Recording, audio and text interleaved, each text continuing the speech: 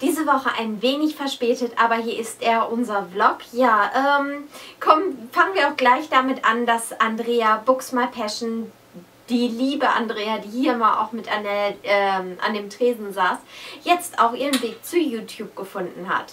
Ja, und wir verlinken euch ihren äh, Kanal natürlich unten in der Infobox. Sie freut sich bestimmt, wenn der eine oder andere da mal vorbeischaut. Und wir, es ist ja kein Geheimnis, und wir freuen uns schon unheimlich darauf. Wir haben nämlich das große Glück, dass Andrea Ende November äh, wieder zu uns kommt und dann möchte sie auch im Vlog wieder mit uns abdrehen und wir haben schon riesen Pläne. Es wird ein Bollywood-Wochenende werden. Ja. Das heißt, äh, ja, eigentlich eine riesengroße Pyjama-Party, so wie sich das für Mädels geziemt, äh, mit ganz viel Essen, mit Bollywood-Filmen und mit ganz viel Quakerei. Aber äh, wir werden uns natürlich mal ganz kurz ein bisschen in Schale werfen, um für euch einen Vlog dann abzudrehen. Also, wenn ihr Andrea noch nicht kennt, wenn ihr mal Bock habt, sie kennenzulernen, wir verlinken euch den Klong. Äh, wir verlinken euch ihren Kanal unten in der Infobox.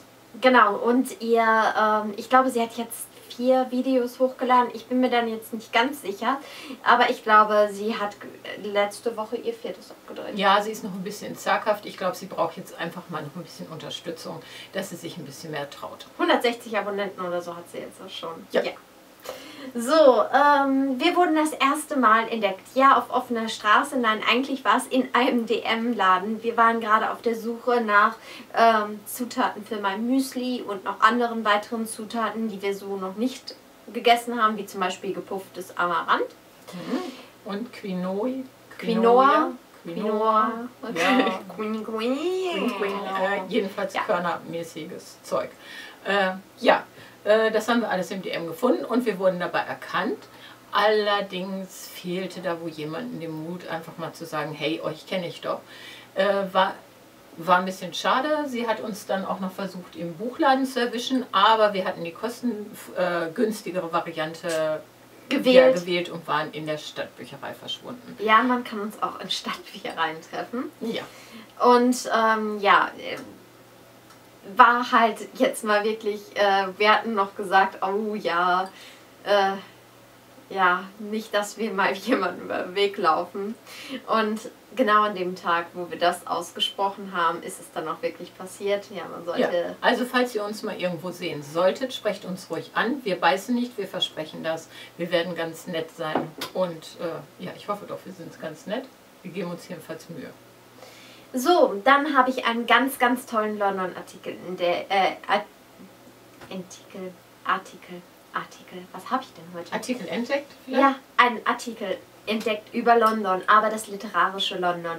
Ähm, darauf gestoßen bin ich wegen diesem Buch, weil ähm, von Danny Wallace auf den ersten Blick, denn das hatte ich gelesen und dort bin ich über einen Friedhof gestolpert. diesen Friedhof habe ich mir im Internet angesehen. Das ist Highgate Cemetery.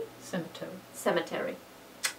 So, Highgate Cemetery und ähm, dort spielte auch Dracula. Da hat Lucy ihre... Ähm, Bisswunden bekommen? Nein. Nicht? Äh, die Kinder... Äh, ihn verschleppt und dann ausgesaugt.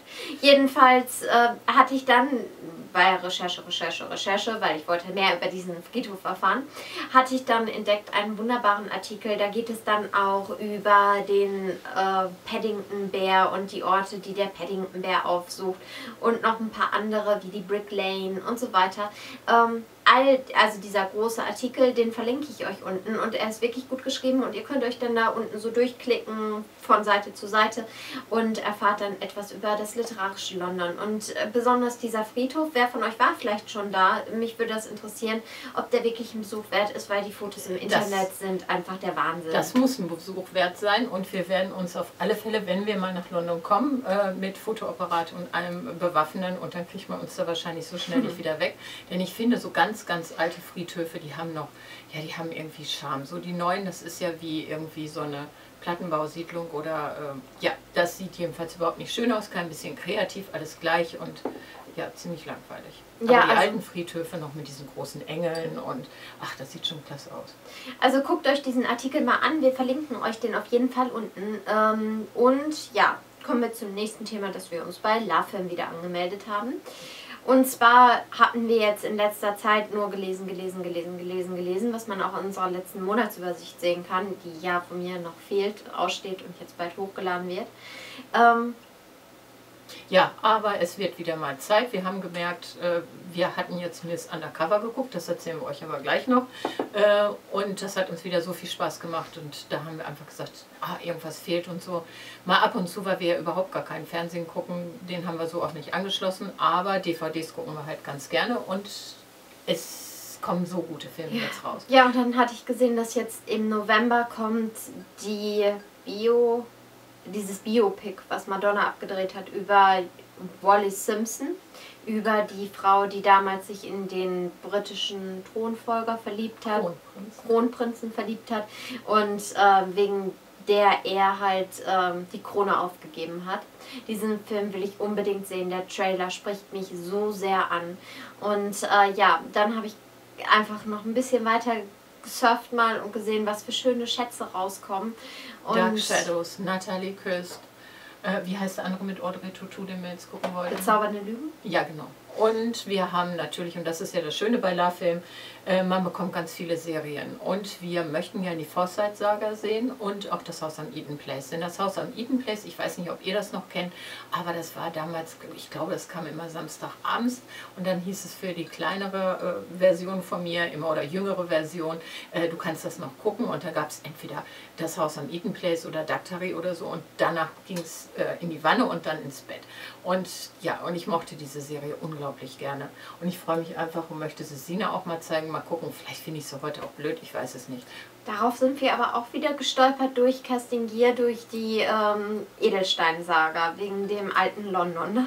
Ja, weil da, es spielt ja auch mal ganz kurzfristig am Eaton Place. Und dann hatten wir geguckt. Ja, nein, Eaton Place. Ja? Wir sind am Eaton Place, ja. Und dann haben wir nochmal geguckt und ja, das gibt es auf Serie und ja, das werden wir uns jetzt nochmal wieder anschauen. Das heißt, für dich ist es sehr ja, und äh, so viele andere Filme, die wir einfach sehen wollen. Ähm, ja. Wir hatten jetzt eine längere Pause gemacht, weil irgendwann ist man zu, man hat alles gesehen, was man erstmal sehen möchte. Aber jetzt wird es ja wieder ein bisschen die Tage kürzer und ja. Und wir werden dann auch in die vierte Staffel von Big, Big Bang, Bang reinsehen. Obwohl ich ja nicht mehr so begeistert bin. Die dritte finde ich noch super gut, aber ich mag die Freundin von Howard nicht, diese Blondine, und ich mag auch diese Frau nicht, die in der letzten Folge der dritten Staffel auftaucht. Die fand ich so sofort so kreuzunsympathisch, wie dieses weibliche Shelly-Ding da. Und äh, die fand ich so unsympathisch und so fürchterlich. Ich brauche die nicht in der Serie, wirklich nicht. Und ich habe auch irgendwie keinen Bock, mich mit der anzufreunden. Als ich gesehen habe, dass sie ja zum Standardcast gehört, war ich weniger begeistert, als äh, man sein kann. Genau, und so gucken wir jetzt erstmal in die Serie rein. Wenn sie uns gefällt, werden wir sie uns holen. Wenn aber ich meine Meinung ändere, werdet ihr es erfahren. Aber bis jetzt bin ich total eher kontra vierte Staffel. Trotzdem werden wir reingucken, weil ich liebe einfach die Nerds und ich liebe vor allen Dingen Ratsch. Ne? Ja, und wir haben gesehen, Om Shanti Om ist jetzt auf Blu-ray mhm. raus. Und sollte das natürlich qualitativ ein absoluter Unterschied sein, müssen wir den natürlich im Schrank haben. Aber so leihen wir uns den erstmal ausgucken. Ist da jetzt wirklich so ein Riesenunterschied oder nicht? Ja, und dann, falls dem so sein sollte, schnapp ich, denn es ist, ich brauche den Film dann einfach, ganz klar. So, ähm, fahrt ihr auch so ab auf Deko-Ideen wie wir. Wir sind ja nicht unbedingt diejenigen, die basteln können. Wir sind nicht unbedingt die Kreativen, aber wir gucken gerne schöne Bilder. Und wir sind totale Fans von Themenpartys. Die sind hier in Deutschland noch nicht so publik, nicht so, ähm, ja, ich wurde noch nie zu einer Themenparty eingeladen. Aber in den USA scheint es mittlerweile... Also wir sind auch nicht diejenigen, die Themenpartys geben. So ist das ja nicht. Nee, aber in den USA scheint das jetzt ja gang und gäbe zu werden. Vor allen Dingen auch für Kinder. Und da gibt es so tolle Ideen. Diese Halloween-Partys oder die Weihnachtspartys oder da, da gibt es dann auch Peter Pan-Partys und da gibt es so, so schöne kleine Ideen wie Feenstaub, Gläschen und ach, ich bin einfach immer wie berauscht von diesen Bildern. Ich kann mich daran nicht satt sehen. Ich bin sowas von begeistert, diese kleinen Einfälle wie ja so ein kleine Hexenbrühe und dann so kleine Besen äh, da reinzumachen. Ich bastel die nicht, aber sie sehen cool aus und es ist eine geile Idee. Irgendwie spreche ich mir dann auch die Bilder auf die Platte ab, weil ich das irgendwann mal machen will. In welchem Leben bitte? Hallo, ich habe zwei linke Hände, was kann ich nicht. Aber ich liebe diese Bilder. Und unseren Lieblingsblog, ähm, davon verlinken wir euch mal die Facebook-Seite unten. Da könnt ihr euch mal durchklicken durch die Bilder. Oder wir verlinken euch die Internetseite, eins von beiden. Und guckt euch einfach mal diese Bastelideen an, beziehungsweise diese Party-Ideen. Ich finde es einfach nur genial, was die und Frauen Halloween sich da einfallen lassen. Und Weihnachten stehen ja schon wieder kurz vor der Tür. Und äh, Halloween ist ja auch immer äh, mein, ja, neben Weihnachten mein Lieblingsthema so fürs Jahr, dekomäßig. Ja, ähm, so, dann kommen wir zu den Fragen der Woche. Wie schaffen wir es, äh, uns für das nächste Buch vom Sub zu entscheiden? Hm, das ist eigentlich ganz einfach. Äh, entweder. Ähm, ja, es ist entweder oder. Ne? Entweder oder. Also, also es geht nach Gefühl. Wenn ich jetzt Lust habe auf einen Krimi, warum soll ich mir den verkneifen? Ich habe natürlich reichlich Auswahl an Krimis. Oder ich habe Lust auf eine richtige schöne, auf ein Chiclet oder egal auf was. Wir haben eigentlich alle Themen bei uns im Schrank in vielfacher Ausfertigung. Und ja, und dann guckt man einfach. Ja, davon haben wir vielleicht zwei ja, Bücher. Horror, das haben wir eben nicht. Aber, oder Thriller, richtige Granatenharte haben wir auch nicht. Aber äh, ja, gut, da guckt man einfach, worauf habe ich jetzt Lust und dann holt man sich das halt aus dem Schrank. Wir hatten es aber auch mal so gemacht, dass wir uns alle Bücher aufgeschrieben haben, aber wir haben mittlerweile einen Sub von 200 irgendwas. Ähm, und dann haben wir immer ra rausgefischt, welches Buch jetzt das Richtige für uns wäre. Heutzutage ist es mehr so, dass ich sage, ähm, ich habe entweder das oder das will ich lesen. Wenn ich mich dann wirklich partout nicht entscheiden kann, gehe ich entweder gerade online und gebe Online-Würfel ein. Da gibt es so ein wunderschönes kleines Programm, wo du nur noch klickst und dann würfelt dir der das Ding irgendwas auf, dann sage ich immer 1, 2, 3, wenn das kommt, ist es dieses Buch oder 4, 5, 6, wenn es das äh, kommt, ist es das Buch oder auch durch 3 geteilt oder jedes Buch. Hat eine eigene Zahl, naja, egal, je nachdem, zwischen wie vielen ich mich nicht entscheiden kann. Ansonsten habe ich aber auch mal ganz praktischen Handwürfel äh, dabei, weil ich würfel eigentlich, wenn ich mich nicht entscheiden kann, alles im Leben aus. Ja, bei mir ist es ganz einfach nur wichtig, dass ich jetzt nicht ein Krimi nach dem nächsten lese oder ein Jugendbuch nach dem nächsten. Äh, ich brauche es eben abwechselnd und äh, ich könnte das zum Beispiel nicht, dass ich jetzt nur Thriller lese, weil ich glaube, irgendwann wird man dann auch betriebsblind äh, und weiß den Einzelnen vielleicht auch nicht mehr ganz so zu schätzen. Also ich mag es jedenfalls gerne bunt gemischt. Das ist bei mir immer ganz wichtig. Also wir haben die auch nach Genre eben sortiert. Das heißt, wenn ich jetzt zum Beispiel ein Jugendbuch gelesen habe, gucke ich erstmal, was ist vielleicht bei zeitgenössischer Literatur oder gibt es einen richtig schönen Chicklet oder ein Kinderbuch oder ein Krimi oder sonst irgendwas oder ein Fantasy. Und daraus suche ich mir dann irgendwas aus, worauf ich gerade Lust habe. Und ich lese halt gerne themenbezogen. Also im Moment reizt mich zum Beispiel die Themen Indien und London total und dann suche ich mir halt aus allen möglichen welchem Genre die Themen, äh, die Bücher raus, die diese Themen halt äh, besprechen oder ansprechen. Ja, und so suchen wir uns dann halt unsere Bücher zusammen. Wir haben immer einen kleineren Sub, das ist der aktuelle, der vielleicht diesen Monat dann ähm, gelesen werden sollte. Der wird aber im Monat sicher nochmal zweimal umgeworfen, also kann man auch nicht wirklich sagen, dass wir uns fest daran halten. So, nächste Frage. Sehen wir Serien und Filme lieber auf Deutsch oder auf Englisch? Ja, Ma, jetzt mal ganz ehrlich, du lieber auf Deutsch. Ja, ich gucke sie lieber auf Deutsch. Ganz einfach, weil ich meistens, wenn ich dazu komme, eine DVD zu gucken, bin ich eigentlich schon ziemlich müde und schlappi. Und dann will ich eigentlich auch nur noch eins konsumieren. Dann will ich meinen Kopf nicht unbedingt noch riesig groß anstrengen. Aber wir machen es durchaus auch so, dass wir Serien, die wir schon mal irgendwann gesehen haben, dass wir die dann halt auf Englisch gucken. Äh, ich kriege dann freundlicherweise deutsche Untertitel dazu, das falls ich mal wieder nicht hinterherkomme. Das ist unser Kompromiss, weil genau. ich würde ja nur noch Serien und Filme auf Englisch gucken. Obwohl wir gestern bei Miss Undercover festgestellt haben, dass uns die Stimme von Michael Caine im Deutschen viel besser gefällt als die englische, weil wir switchen immer zwischendurch mal hin und her, um zu hören, wie hört sich denn das im Original an. Aber ähm, es ist natürlich, und da gebe ich Sina recht, wenn man das in der Originalsprache hört, es geht doch schon einiges verloren, wenn es eben synchronisiert wird. Ähm, ja, die schauspielerischen Fähigkeiten, die ganzen Betonungen, es wird sehr häufig sehr, sehr gut synchronisiert, keine Frage. Aber Buffy ist sehr gut synchronisiert. Also das ist so die einzige Serie oder der einzige.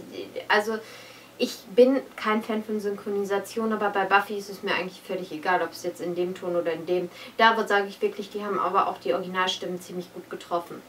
Was ich allerdings nicht oder beziehungsweise wie ich da darauf gekommen bin, nur noch Originalsprache am liebsten gucken zu wollen, war eine Szene aus Desperate Housewives, die mich überzeugt hatte, die Serie zu sehen. Ähm, ich will jetzt niemanden spoilen, deswegen sage ich einfach nur, Gabby, Gabby nehmen sie etwas weg. Und ich habe das gesehen und mir, mir kamen die Tränen, obwohl ich die Serie gar nicht kenne oder kannte zu dem Zeitpunkt. Und es hat mich total berührt. Dann haben wir die Serie auf Deutsch gesehen und es kam irgendwann zu dieser Szene. Und da waren keine Emotionen. Da habe ich überhaupt nichts gefühlt und dann dachte ich, hm, okay, woran liegt das jetzt? Bist du irgendwie abgebrüht? Bist du irgendwie emotional abgeschaltet? Habe mir die, Serie, die Folge nochmal auf, auf Englisch angesehen. Man hörte richtig, wie sich ihre Stimme überschlägt und das hat mich dann wiederum gepackt. Also daher bin ich eigentlich Fan vom Originalton, aber wenn ich mit Mar zusammen sehe, dann ähm, entweder wir kennen das schon oder wir gucken es dann also dann gucken wir es auf Englisch, ansonsten neuen Stoff ziehen wir uns erstmal auf Deutsch an. Das ist unser Kompromiss. Was natürlich auch sehr lustig sein kann, das ist, wenn man sich mal den Anfang anschaut von Bridget Jones, Schokolade zum Frühstück, äh, wie sie bei ihrer Mutter ankommt. Äh, ja. Ja, das ist also doch schon, macht es einfach mal, wenn ihr den Film zu Hause habt. Es gibt da einen riesengroßen Unterschied zwischen der Übersetzung und dem Original. Also Aber mehr verraten wir euch da auch nicht. Es ist jedenfalls schon erstaunlich, äh, wie gut da übersetzt wurde. Ähm, so, dann kommen wir dazu, wie man so schnell lesen kann. Ich weiß, das wurde schon öfter angesprochen, aber jetzt gibt es ein paar neue Aspekte auch mal. Ja, also das ist wirklich nur Übung. Seitdem ich lesen gelernt habe, bin ich am Lesen. Ich war ja auch immer das Kind, das im Sommer äh, ja immer sehr blass war, weil ich nicht nach draußen wollte. Ich war viel lieber zu Hause und habe gelesen. Äh, meine Eltern mussten sich da, glaube ich, keine großen Gedanken machen, wo ich stecke, entweder in meinem Zimmer oder in der Bücherei. Und ja, ich habe weiß ich nicht. Also ich glaube, es ist einfach so, wenn man viel liest, kommt, steigert sich automatisch die Geschwindigkeit. Für mich ist es auch kein, kein Thema. Sina sagte mal, ich verstehe nicht, wie du das machen kannst. Wenn ich irgendwie fünf Minuten oder zwei Minuten irgendwo sitze, kann ich mir das Buch nehmen, lese drei, vier Seiten, lege es dann wieder weg und aber ich bin dann sofort wieder in der Geschichte drin. Sina hat jetzt aber auch die Erfahrung gemacht, erzählt selber Kind. Ja, dass ich ähm, jetzt ja ein paar leseintensive Monate oder beziehungsweise ich lese jetzt seit zwei Jahren sehr intensiv und ähm, zwischendurch halt immer mal ein bisschen weniger, weil ich war nie der Leser. In meiner Jugend war ich immer total... Ähm, eifersüchtig auf die Bücher, denn Ma hat immer gesagt, Sina, gleich, gleich, äh, ich lese gerade noch ein Kapitel zu Ende oder ich muss noch gerade den Abschnitt oder hat mich gerade angefaucht, weil ich in eine spannende Szene reingeplatzt bin. Also war ich konsequent immer wütend auf Bücher. Ich habe sie zwar gesammelt, äh, bin unheimlich gerne... Du musstest die auch, hast dir nichts anderes geschenkt. Bin unheimlich gerne in Buchläden gegangen, aber da war immer so eine Eifersucht da. Ich mochte es nicht und ich habe keinen Zugang lange Zeit zu Büchern gefunden. Hatte dann mit Hörbüchern angefangen. Die Hörbücher haben mir den Zugang zu Geschichten in Buchform gebracht, weil ich wollte auch eigentlich Regie studieren und ich war total auf dem Trip, ich will irgendwie was mit Fernsehen, mit Filmen machen und nicht mit Büchern, habe dann aber angefangen auch selber zu schreiben mit 14, weil ich einfach die ganzen Ideen, die ich im Kopf hatte, irgendwo mussten sie hin. Und ähm, ich hatte keine Freundin oder so, die halt als Schauspielerin zur Verfügung stand, stehen wollten, sollten. Oder mit denen gab es immer mal wieder Krach deswegen. Und deswegen hatte ich dann halt gesagt, so okay, Buchform, ich schreibe. Und dann habe ich halt die Hörbücher für mich entdeckt, so und dann kam ich ans Lesen, weil die Hörbücher zu den Büchern, die ich lesen wollte, nicht da waren. So, und jetzt lese ich sehr intensiv und ich merke erstens mal, die Schnelligkeit kommt rein. Und zweitens merke ich, wie sehr Bücher einen in den Band ziehen können. Mittlerweile, wenn ich mich, oder ich habe es gerade erst vor zwei Wochen bemerkt, dass wenn ich jetzt ein Buch aufschlage, ist das, als wenn da so eine Glocke um mich herum ist. Ich bin abgeschirmt von dieser Welt, völlig solitär, völlig alleinstehend. Und ich gleite in den Text rein und ich bin da. Ich höre, die, die, die Leute haben mittlerweile auch ganz andere Stimmen also die, die, die sprechen jetzt anders. Es ist jetzt nicht mehr meine monotone Sprechstimme, die da mir den Text innerlich vorliest. Nein, auf einmal fangen diese, die, fängt der Text an zu leben. Und ähm, ich glaube, da braucht man einige Zeit, um da reinzukommen. so ein Gefühl zu bekommen. Also ich weiß nicht, jetzt ist es wirklich so, als wenn mir der Boden unter den Füßen weggezogen wird und ich in einer ganz anderen Welt bin. Also jetzt kann ich es auch verstehen, diese, diese Bilder von den Leuten, die da mit dem Buch sitzen um sie herum, ist eine ganz andere Welt. Und äh, ja, mittlerweile verstehe ich es ich glaube, das ist auch die Schwierigkeit. Man hat dann einfach als, als intensiver Leser halt dieses Kopfkino. Man weiß, wie die Leute aussehen, sie haben ihre eigenen Stimmen äh, und wenn man sie dann im Film sieht, ist das meistens eine Enttäuschung. Ich glaube, das ist auch die große Schwierigkeit, warum man damit nicht klarkommt, weil es einfach nicht die eigene Fantasie dann widerspiegelt. Ähm, es gibt aber zu diesem Thema schnell lesen, gibt es an Volkshochschulen, gibt es eben Kurse oder es gibt auch, äh, ich denke, Bücher, Literatur, Seminare dazu. Äh, wir, ich habe die nie besucht, ich fand das eigentlich auch immer relativ unsinnig. Ich hatte eine Freundin, die hat also zwei, drei Bücher, die hatte die da liegen und bam, bam, bam, bam, bam, bam. Und da habe ich mich auch immer gefragt, ja mein Gott, irgendwo muss der Kopf ja noch hinterher. Und für mich ist Lesen wirklich nach wie vor Genuss. Also äh, ich lese die Bücher ja nicht, ich bin ja nicht auf der Flucht. Also dass einer sagt, und wenn du es nicht schaffst, heute Abend bis Seite so und so zu kommen, ähm, dann habe ich auch keine Lust mehr zu lesen. Also für mich ist und bleibt Lesen wirklich Genuss und Kopfkino. Ja, und ich lerne es mittlerweile wirklich zu schätzen. So, ähm, dann kommen wir dazu, was wir halten von gebrauchten Büchern. Wir halten davon sehr viel. Ihr wisst, was für ein, oder wenn ihr jetzt nicht gerade ganz neu seid, wisst ihr ungefähr, denke ich, was für ein Lesevolumen wir haben. Mal kommt teilweise, letzten Monat waren es 22 Bücher, auf die sie gekommen ist. Ich bin da bei 16 gekommen, auf 16. Und wenn man dieses ganze Lesevolumen sieht, ähm, wo, wo, woher das Geld nehmen, wenn nicht stehlen. Also das ist ungemein, wenn, wenn man sich das überlegt. Ähm, daher kaufen wir auch sehr viel gebraucht ein. Wie zum Beispiel hier diese Angelina Jolie habe ich für 3,20 Euro bei Rebuy gekauft. Oder äh, Mrs. Sengupta habe ich zum Beispiel getauscht mit Anna Buchprinzessin Yogura. Äh, sie hatte es doppelt, ich hatte ein anderes Buch, was äh, wir haben halt telefoniert und da kam das halt, dass ich gesagt habe, ach man, mich interessieren momentan Hexen. Und ich habe dann noch so ein süßes Buch gesehen, sagte man, ich habe das doppelt. Und dann habe ich halt gefragt, sag mal, interessiert dich vielleicht dieses oder jenes so? Und dann haben wir uns eben ausgetauscht.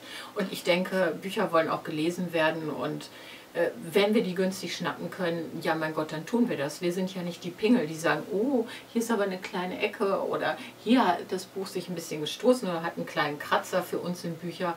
Äh, Tore ist, in andere ist halt Welten. ein Erlebnis, ist, genau, es sind Tore in andere Welten und es sind für uns nicht in erster Linie Deko-Gegenstände.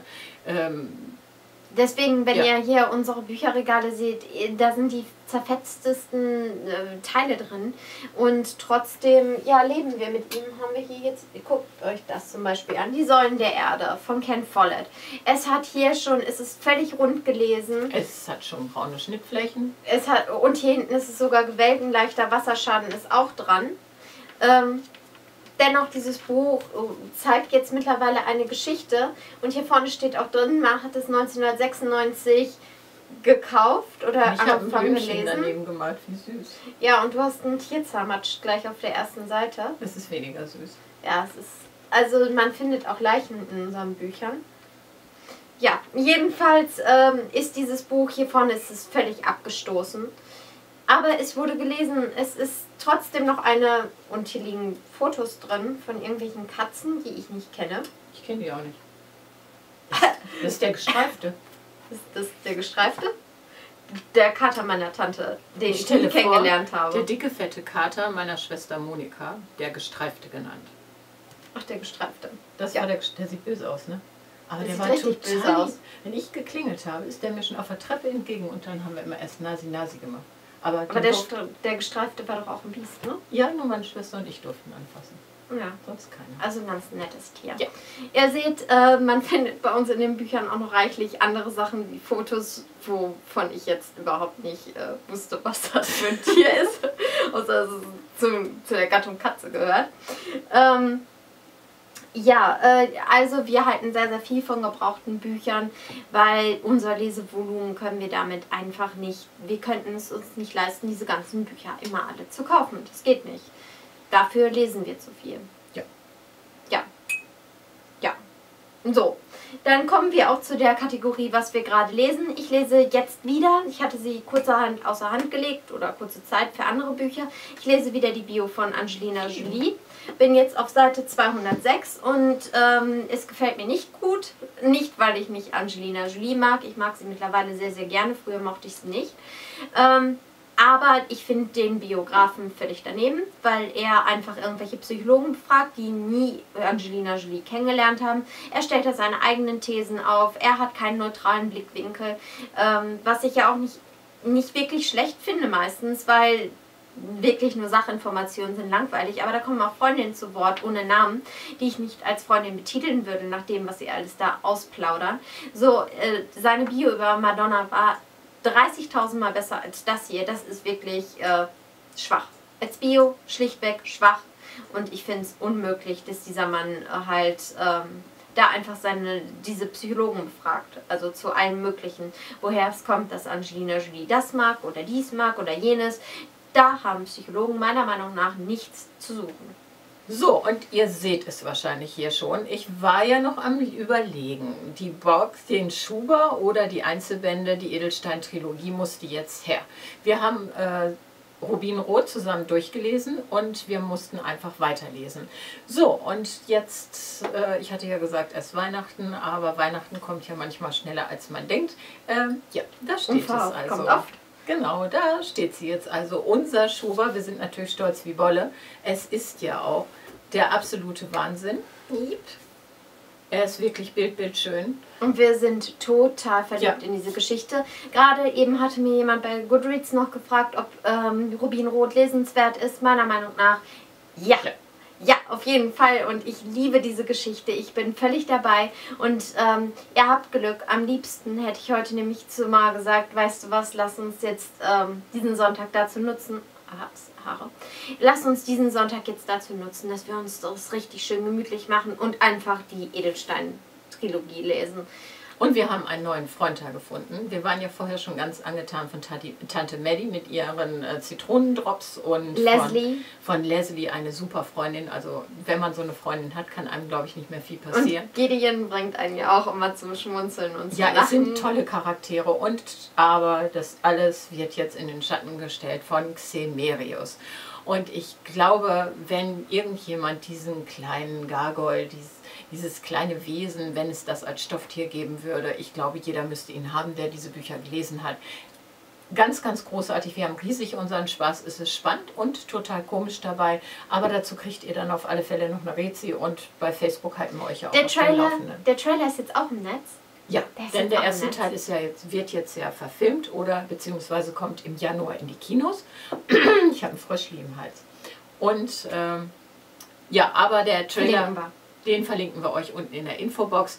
Äh, Wer es noch nicht kennt, der sollte auf alle Fälle mal einen Blick riskieren. Eine ganz tolle Reihe. Ja, ist wirklich super. Ähm, so, dann hören wir zusammen dieses Hörbuch Töchter des Mondes Kate. Ich fand es jetzt auch bis zu CD3 richtig, richtig gut. Jetzt finde ich die Liebesbeziehung, die sich da anbahnt, nicht so toll. Sagen wir mal unpassend. Unpassend, sagen wir unpassend. Ich finde es einfach emotional unpassend. Aber das ist, ähm, das stört mich auch immer an diesen Büchern. Das Buch hat echt so viel Potenzial und ich glaube, es verschießt es im Moment. Dadurch, dass da irgendwo so eine Liebesgeschichte reingezwängt wird. Genauso wie bei Timeless, wo ich auch gesagt habe, die Liebesbeziehung hätte sie die rausgelassen, wäre das Buch um Klassen besser. So, und auch da sage ich jetzt einfach, da wird auf Knall und Fall werden da jetzt noch Verwicklungen reinge, reingebaut. Die die, die da, Story gar nicht nötig hätte. Ja, sie, sie hätten sie einfach nicht nötig. Sie hätte das jetzt nicht so aufbauen müssen. Hätte sie es anders aufgebaut, wäre dieses Buch trotzdem oder gerade deswegen für mich persönlich noch wesentlich wertvoller weil ich finde, das ist jetzt wirklich nur Knöpfe drücken und nur jetzt da irgendwas reinzwängen, weil vielleicht der Verlag es will. Ich weiß es nicht, ich finde es nur einfach total schade. Ansonsten ist das Buch sehr, sehr gut. Es geht um Junghexen. Es spielt, ich denke, im viktorianischen Zeitalter. Haut mich nicht tot. Ich weiß es nicht. Wir spielen das ist nämlich hier immer unsere Diskussion, was ja, es spielt. Genau. In, vor, hinten hätte ich es nicht gedacht, dass es überhaupt in der Vergangenheit spielt. Aber egal, wie dem auch sei. Na mal gut, dass es heutzutage keine Hexenverbrennung mehr gibt. Ne? Es gefällt mir jedenfalls sehr gut soweit. Nur die Liebesbeziehung statt. Also das Hörbuch ist sehr, sehr gut gesprochen. Ja, Nana Spear Wirklich kennt sehr, ihr sehr von gut. der Synchronstimme von Drew Barrymore oder Sarah Michelle Gedda. Genau.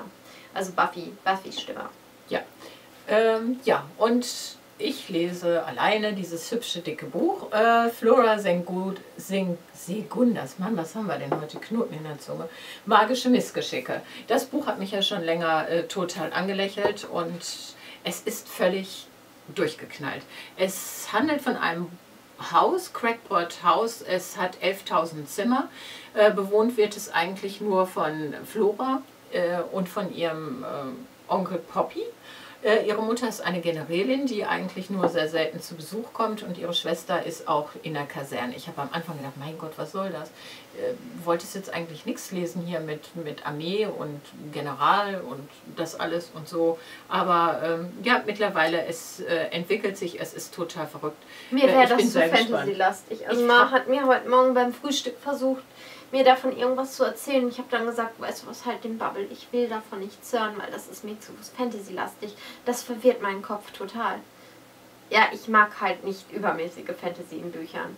Ich also ich finde das also sehr spannend und diese ganzen Zimmer, die sich da jetzt auftun, dieser, Fahr äh, dieser Fahrstuhl, äh, der verschollene Butler, der da in der Bibliothek lebt und ja, mir gefällt das gut. Bis jetzt, also der Anfang, da musste ich Und die Räume, reinkommen. die sich ändern, das habe ich auch immer bei Harry Potter völlig ausgeblendet, dass die Treppen sich verschieben, dass die Räume sich verändern. Das wollte ich nie wissen bei Harry Potter. Das nicht? hat mich immer voll aufgeregt. Also bis auf das Treppen verschieben habe ich ja nun auch nicht so gerne, weil ich ja also nee. nee. das gefällt mir nicht so gut. Nein, also Aber das da sonst Hock fand ich das spannend. Hogwarts ist für mich ein total stabiles äh, Lager. Ein Lager, ja, eine Burg, ne? Nein, ja, aber da verschiebt sich nichts. Also das blende ich aus. Also zu viel Fantasy blende ich einfach aus. Die will ich nicht hören, davon will ich nichts wissen. Das verwirrt mich nur. Kommen wir zu den Sachen, die wir gesehen haben. Wir haben einmal gesehen ein göttliches Paar. Ein total süßer... Mal wieder. Ja, mal wieder. Ihr habt ihn sicher, wenn ihr öfter unsere Vlogs guckt, habt ihr ihn sicherlich schon mal bei uns erwähnt gesehen. Jetzt haben wir ihn mal wieder, weil es ein absoluter Wohlfühlfilm für uns ist. Ähm, gesehen und ja, ich will dazu jetzt auch gar nichts weiter sagen. Ich will euch ja nicht dauernd mit Bollywood nerven. Aber dieses, dieser Film ist wirklich wieder richtig, richtig toll gewesen. Ja, ja. mal wieder. Und wir haben gesehen My Big Fat Greek Wedding. Und den, wir sind eigentlich wieder auf den Film gekommen, äh, weil wir in der Stadt waren und dann war da ein griechisches Restaurant und ungefähr zehn Häuser weiter. Ich sage, Sina, lass uns doch mal raten, wo die Besitzer von dem griechischen Restaurant wohnen. Äh, weil ich weiß nicht, ob das ein Reihenhaus das ist, ist ein oder Doppelhaus, eine Doppelhaushälfte. Ja. Auf alle Fälle vom Weitem erkennt man sofort den griechischen Einfluss und das ist genauso wie in diesem Film beschrieben. Und also da mussten wir fürchterlich schon drüber lachen und dann haben wir gesagt, du komm, abends äh, gab es eigentlich nur eine, äh, ja, einmal hingucken, lass es uns schauen.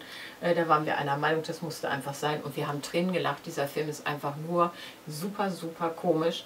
Äh, und ja. die Details, dieses Sofa, was mit Plastik überspannt ist. Und äh, der Produzent war übrigens Tom Hanks. Tom Hanks weil seine Frau unbedingt wollte, dass dieser Film gedreht wird.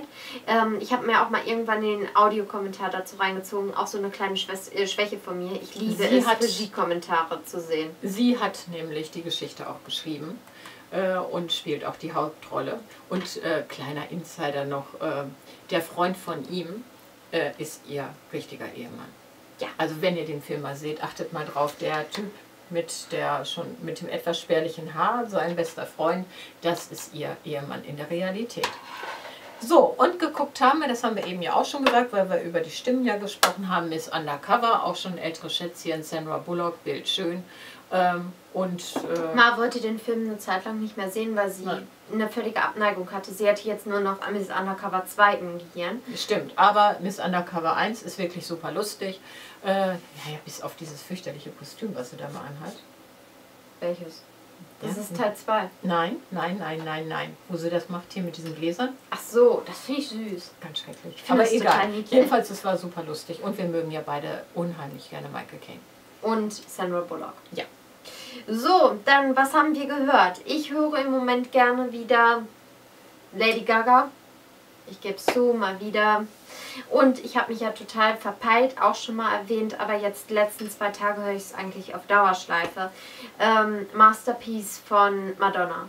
Das ist ja ein Lied, wo ich zufälligerweise kam das mal als Werbung vor einem Video von uns und äh, dann habe ich das so reingehört und habe gedacht, mein Gott, das Lied brauchst du sofort. Habe es mir dann auch besorgt und ich bin total verliebt in dieses Lied und äh, ja, deswegen auch der Film vor, über Wallace Simpson, wie am Anfang erwähnt, ähm, dieses E-Wee. Äh, ja, das, das ist halt von dem Soundtrack oder sollte für den Soundtrack sein. So genau weiß ich es jetzt nicht. Und ja. Ja, und bei mir ist es halt so, wir bemühen uns ja fast täglich oder täglich steht es eigentlich auf dem Programm vor die Wie und dann wird ordentlich abgerockt nach Just Dance 3. Aber ich bin ganz ehrlich, danach habe ich auch keinen Bock mehr auf Musik, ähm, weil diese Lieder hat man dann irgendwie noch im Ohr. Sie rufen einen ja auch förmlich zur Wie, quälen einen dahin. Ähm, ja, also danach ist mein Musikbedarf also wirklich für den Tag immer gedeckt. Ich höre Musik ja sowieso immer. Ähm, Eher wenig. Ja, es ist für mich dann auch wirklich, dass ich sage, so, ich möchte jetzt Musik hören. Und dann höre ich die Sachen, die ich gerne hören möchte. Und, und dann meistens auch gut. nur zwei, drei Lieder. Weil wir sind nicht der Typ, der hier von, von morgens bis abends äh, irgendwie Dauerbeschallung hat. Das stört uns. Also bei uns ist immer Ruhe. Also wir haben kein Radio an, wir haben gar nichts an. Also den ganzen Tag lang ist hier totale Stille. Silencio. Silencio. So, dann gespielt haben wir Skippo, dieses Kartenspiel wie Uno. Das können auch kleine Kinder super gut spielen. Dabei hören wir Hörbücher. Dann ähm, Just Dance 3, wie eben gerade erwähnt. Ja. Und Step, Step to, to the Beat. Das wollte ich eigentlich unbedingt haben, weil ich mir gedacht habe, okay, Kondition, das ist ja alles schön, man kann ein bisschen laufen. Äh, die Beschreibung hörte sich toll an. Man schaltet da so Sachen frei wie Laternen, Blumenkästen, Schilder, äh, Häuser, Autos, weiß der Geier, was also dann äh, am Wegesrand dann entsteht. Dafür muss man eben ordentlich viele Punkte erlaufen. Das hört sich so an, ich brauche ja immer eine Mohrrübe, die man mir vor die Nase hält, gerade wenn ich Sport machen soll. Und da hatten wir gedacht, das ist super. Hat aber ein paar Nachteile. Erstens, man merkt, dass dieses Spiel nicht unbedingt die riesengroße Supergrafik hat. Das heißt, wenn man schön ist es, also man hat Tag und Nacht auch bei diesem Spiel, äh, aber wenn man nachts zum Beispiel eine Straßenlaterne hat, sieht man das nicht unbedingt. Also ob man sie jetzt freigeschaltet hat genau. oder nicht. Und ich komme halt, am, halt abends zum Spielen hauptsächlich, zum Spielen, zum Laufen halt. Und ähm, Äh, Man sieht, uns macht Sport so Spaß. Ja, also ich bin nie jemand gewesen, dem Sport Spaß macht. Also es ist wirklich Quälerei. Und ähm, äh, es bleibt dunkel. Keine Ahnung. Und das, was ich eben auch sehr begeistert. Ja, was wir eben sehr bemängeln, das ist halt äh, die Steuerung. Man hat ja die, diese wie ähm, Fernbedienung. Den Controller halt. Und äh, man kann dann da drauf gehen und sagen, so das möchte ich, das möchte ich, das möchte ich oder den Weg oder den Weg. Aber die Steuerung ist so ungenau, dass wir also dann immer stehen bleiben müssen und uns das anklicken, was wir da anklicken wollen, weil anders kriegt man das eigentlich nicht hin. Äh, kann natürlich an uns liegen, beziehungsweise an unserem Controller, aber bei anderen Spielen funktioniert er hundertprozentig, nur bei diesem nicht. Und was ein bisschen hinderlich ist, man aber es heißt nun mal Step to the Beat, das haben wir natürlich in unserem Wahn natürlich wieder nicht so gesehen. Ähm, man muss nach dem Takt laufen. Sonst zählt halt die Stratte nicht. Ja. Und ich drehe den Ton runter, weil ich kann Musik ja nur selten ertragen. Mache das also tonmäßig aus und dann ist es halt Zufallstreffer, ob ich jetzt äh, im Takt bin oder nicht. Ja. Trotzdem laufe ich damit eine Stunde und habe dann ungefähr 8000 Schritte oder was.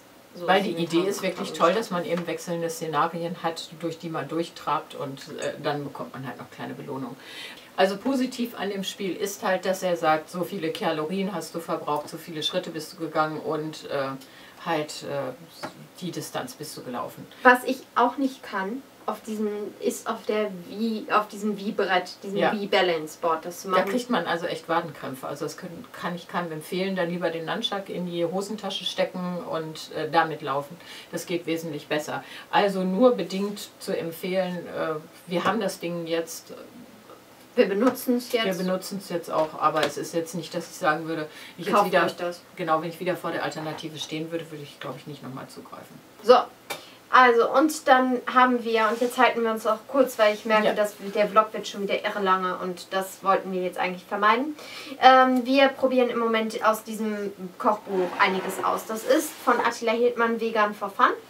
Und äh, Nein, Vegan for Fit. Äh, je, Vegan for Fit. Vegan for Fun haben wir auch hier liegen, aber äh, Vegan for fit. So, und die Rezepte sind hammermäßig lecker. Ja. Also wir hatten eben erst wieder was gemacht. Zup, es nennt sich Kürbis-Paprika-Gemüse mit Kokos-Tofu-Sticks. So. Das Buch ist ganz schön schwer. Es ist sehr, sehr hochwertig. Und so lecker wie das aussieht, ist es auch. Ähm, ja, Vorteil ist wenig Kohlenhydrate, viele frische Zutaten.